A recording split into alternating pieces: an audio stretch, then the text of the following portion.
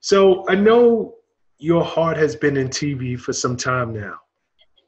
Um, co-executive producer on one of the most popular, long-running uh, reality TV shows, Love and Hip Hop.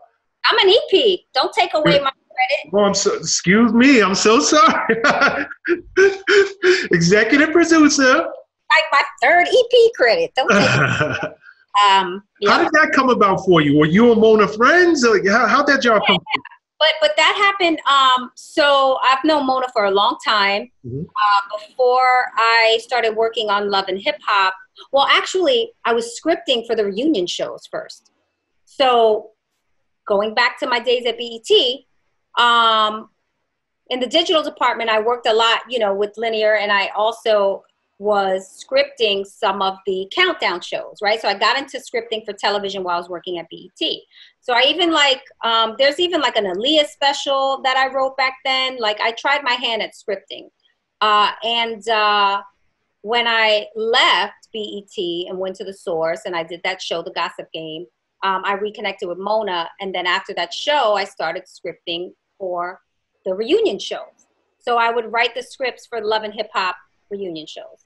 Um, and that was a lot of fun just because I'm sure, as you guys know, how much goes into the reunion show tapings on Love and Hip Hop.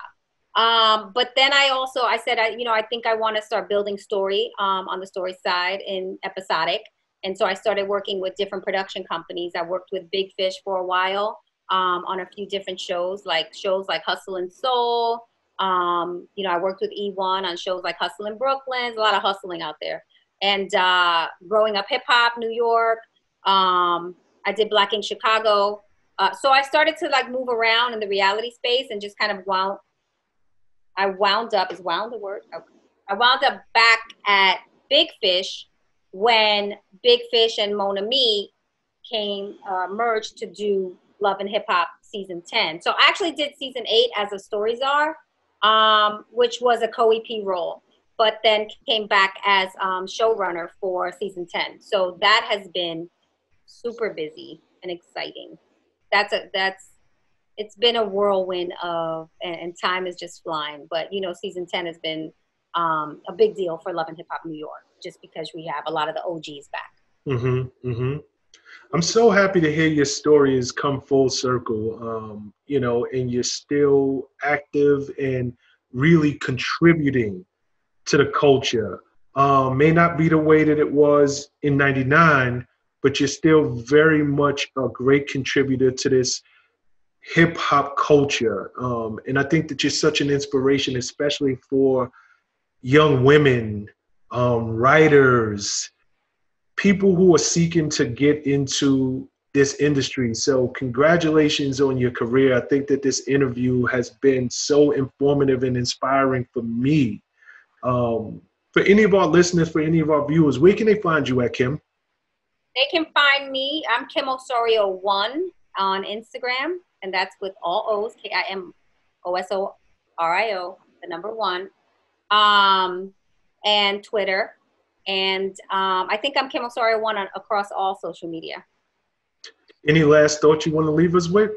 I would just, you know, want to inspire everyone during this very trying and unprecedented time um, to really focus on themselves, focus on all the things that you can't do when you're out in the streets and just too busy um, to get to work and try to come out of this time with you know just some real focus on yourself and um, your profession and other things that you want to do to follow your dreams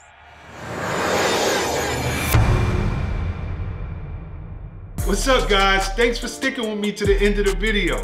Truly appreciate you. If you like anything you heard here today, go ahead and hit that subscribe button. And if you know anybody that can benefit from this message, feel free to share. Peace and love.